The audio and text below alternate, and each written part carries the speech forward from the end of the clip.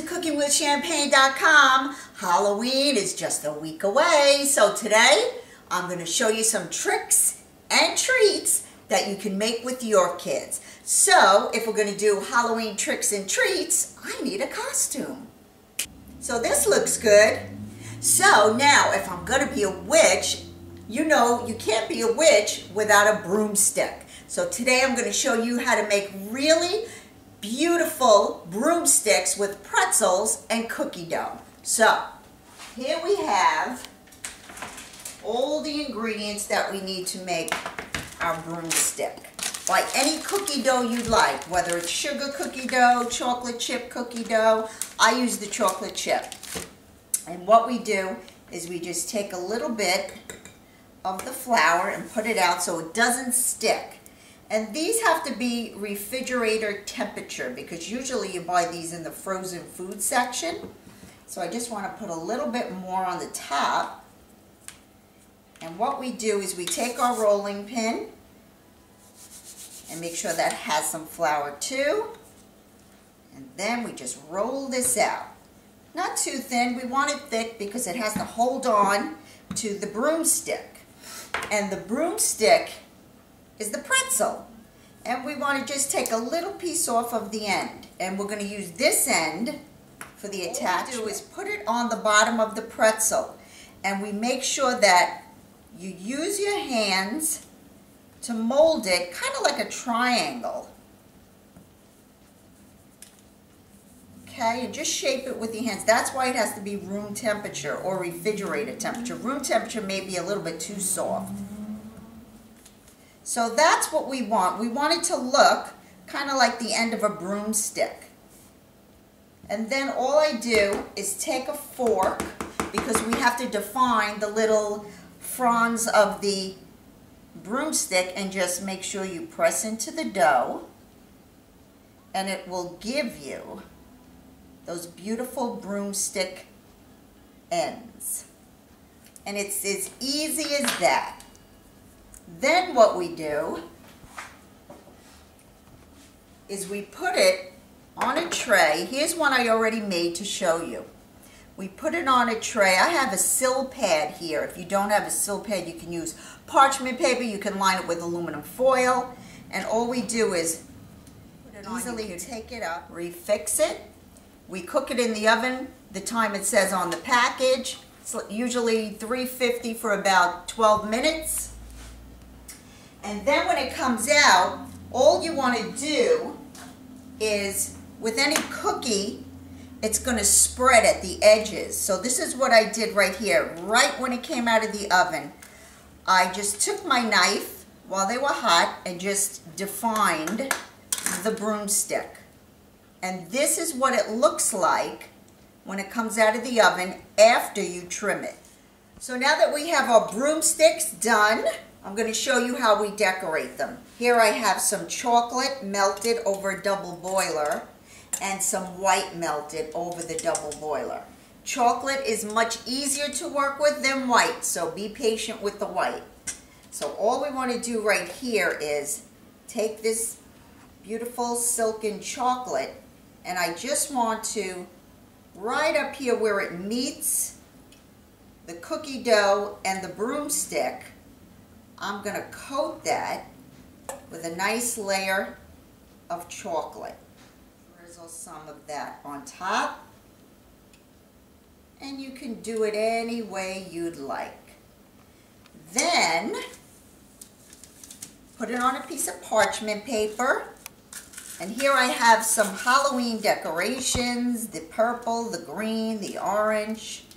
And all we do is cover These that These are what the broomsticks look like, all decorated for Halloween. These are so much fun to make.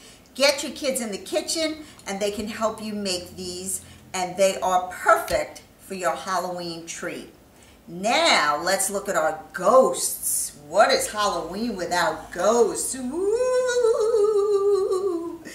These, these are my bananas and all I did was put popsicle sticks inside of them and I rolled them in the white chocolate and used a little bit of the, um, the uh, chocolate to make the eyes and the mouth. and then I put them inside my champagne glass so they can stand up. Now, being that we have two of them that are white, let's make a chocolate one. So all you do is peel your banana in the refrigerator and just put your popsicle stick right inside and just guide it to make sure it doesn't come out the other end. Use your spoon, use a spatula, and we just want to dip this and coat it And Now. I'm going to use the white little chocolate morsels for the eyes on the chocolate. Now after you make these, you definitely have to put these in the refrigerator so they harden up.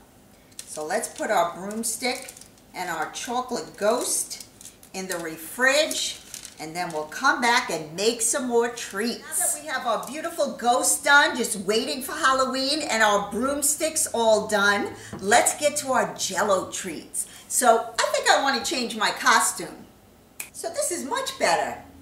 So here are my jello treats.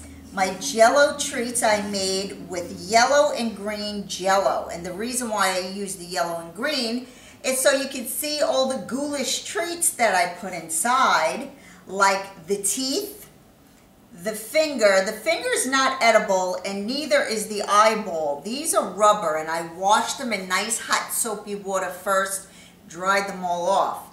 But the teeth are edible. There are some feet that are in there that are edible. And what I did was I bought this candy tray that has some eyeballs that are edible. Here are the teeth. And they have a liver and a heart. And you can find this in any craft store, any candy store. Also, all of these little treats that we, I just dropped inside. Their skulls and their little bones. And these are candy. These are edible as well. And you could buy these, like I said, in any craft store. So all you do is make your jello. When you make your jello, let it sit out and start to get a little bit jelly-like before you put everything in because then it stays suspended where you want it to stay. So this is what our jelly treats look like. Don't these look good with the teeth? Who lost their dentures? The eyeball, the fingers. You can make these any way you'd like. And these are our jello treats for Halloween. Halloween be without cupcakes? Right here, I have my spider web cupcake. I made cute little spiders. I have finger cupcakes.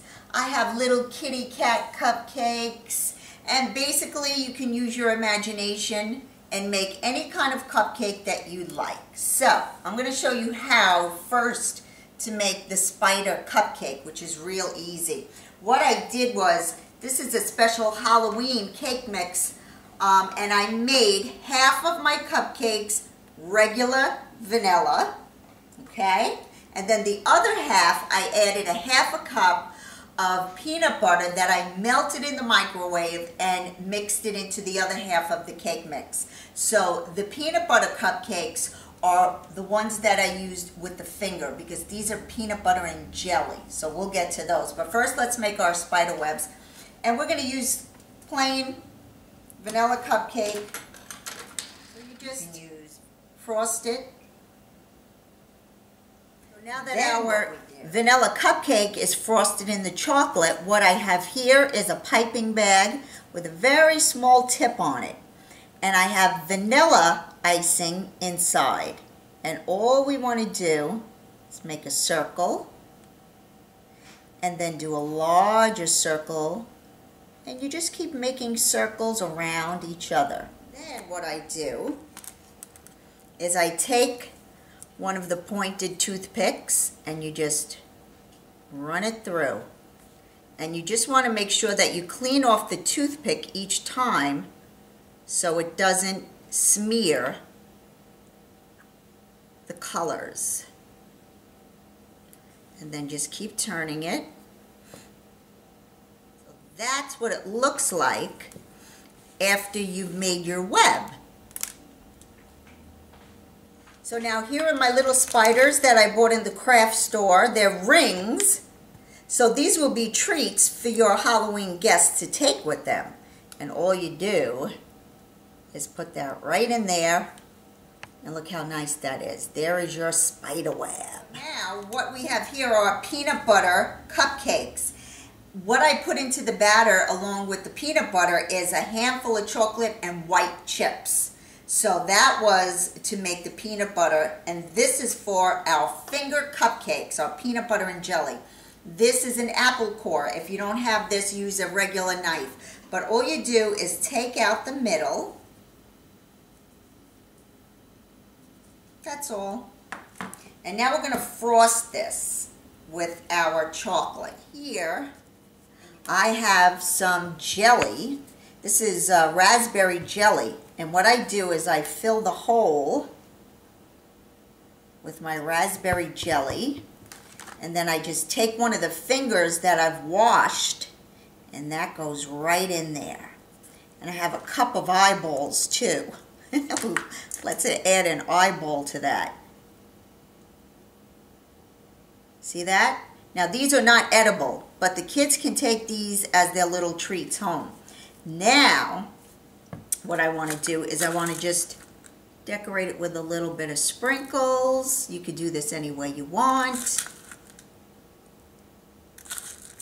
In the Halloween colors.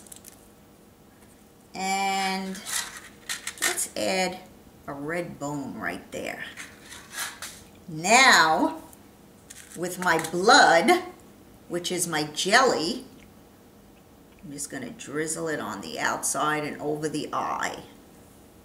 And there is your bloody finger and eyeball cupcake. Ooh, that looks good. Here's my cat.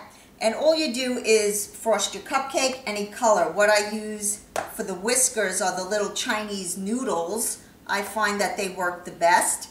The nose you can just make out of gumdrops. I cut them into triangles. And the ears are blue corn chips. And all you do is stick them inside the cupcake and the eyeballs are white gumballs and I just put little piece of uh, jelly gumdrop right on top. And there's your cat. That's real easy to make. Now I'm going to show you how to make the spider. I have a red spider and I have a chocolate spider. So let's do a green spider. I'm going to show you just how to get the color that you want. I have some green pipe cleaners right here and all you do is fold these in half. I have three of them because we want to use three legs on each side. Fold them in half and then we just cut them. So they'll be waiting for us. Now, for the green icing, all you do is take, I have, this is whipped cream icing. And all we do is take just like a teaspoon of it, unless you're going to make a lot of green, then you put more in. But I like to make different colors. That's why I keep a little bowl and the different color food coloring. I use food paste because I feel you have better control with that. And you can buy this in a craft store. This is the green. So I'm just going to dip in my little toothpick here and just mix it around until I get the green that I like. Just want to frost our cupcake. And this is great. The kids have so much fun doing this because they can be creative as they like. All you do, if you have a Halloween party, set up a station, give each kid a bowl, have a large jar of the white so they can mix the colors that they like, have all the different candies. You can put out the pipe cleaners. So there we go. There is our frosting.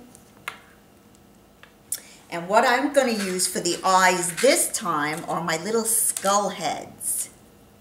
I'm just going to put that right there. Now, with the pipe cleaners, we fold the pipe cleaner in half and you want to make a distinct sharp bend right there and then we bend this part just a little bit out like that kind of like an L and all you do is stick that right in there and just stick it down until it hits the floor or the surface And that's what we do with each one. Fold it in half, make a sharp fold, fold the leg out a little, and you get three on each side. Here is our green little spider to add to the collection of cupcakes that we made for Halloween. So these are just some of the treats. Let's put them all together and I'll show you everything that we made. These are just some of the Halloween treats that you can make with your kids for the holiday. Here are our cute little spiders, our spiderweb cupcakes, our bloody fingers and the eyeballs. These are peanut butter cupcakes and the blood is the jelly. We made our beautiful broomsticks. You can't be a witch without a broomstick. And of course our jello treats that have fingers and eyeballs and all of the candies, the teeth that you can buy in the craft store or any of the party stores. And right here are ghost bananas. We did two white chocolate and one chocolate and all you do is use the little chocolate chips to make the eyes and the mouth. So this makes for a great Halloween party. The kids would love to decorate this. But you know what? Halloween is not just for the kids. No, it's for adults too because you know there's always a little kid inside of us. So I've got a great treat for the adults. And here are our drinks for the adults. This is a melon martini with a little blood dripping inside, which is our raspberry jelly. I have some of the, the gummy worms hanging out. And of course, somebody cut off their finger. And this is a chocolate martini with the eyeball at the edge and I have one of the fingers floating in there and you can use your imagination and do any kind of drink you'd like, but just make sure you include the adults. So now that we have all these great treats, I need some Halloween trick-or-treaters to help me eat it all. So let's work our magic. Hmm. Oh yeah, I know. He looks good. Now let's get another trick-or-treater. She looks good too. So, for everybody out there, have a wonderful Halloween, and we say trick or treat. Download the recipes at cookingwithchampaine.com. Have a wonderful Halloween, everybody. Bye. I was working in the lab late one night when my eyes beheld an eerie sight. For my monster from his slab began to rise, and suddenly, to my surprise, He did the mash, he did the monster mash. the monster mash. It was a graveyard smash. He did the mash, It caught on in a flash. he did the mash. He did the monster mash from my laboratory in the castle east to the master bedroom where the vampires feast. The ghouls all came from their humble abodes to get a jolt from my electrode. They did the mash, They did the monster mash. the monster mash. It was a graveyard smash. They did the mash, It caught on in a flash. they did the mash. They did the monster mash. The zombies were having fun. In a shoe, The party had just begun. in a shoe. The guests included Wolfman, Dracula, and his son. The scene was rocking, all were digging the sounds. Igor on chains, backed by his baying hounds. The coffin bangers were about to arrive with their vocal group, the Crypt Kicker Five. They played the mash, They played the Monster the Mash. monster mash. It was a graveyard smash. They played the mash, It caught on in a flash. they played the mash. They played the monster mash. Out from his coffin, Rex's voice did ring. Seemed he was troubled by just one thing. Opened the lid and shook his fist and said, Whatever happened to my Transylvania twist? It's now the mash, It's now the monster mash. the monster mash. and it's a graveyard smash. It's now the mash, It's caught on in a flash. It's now the mash.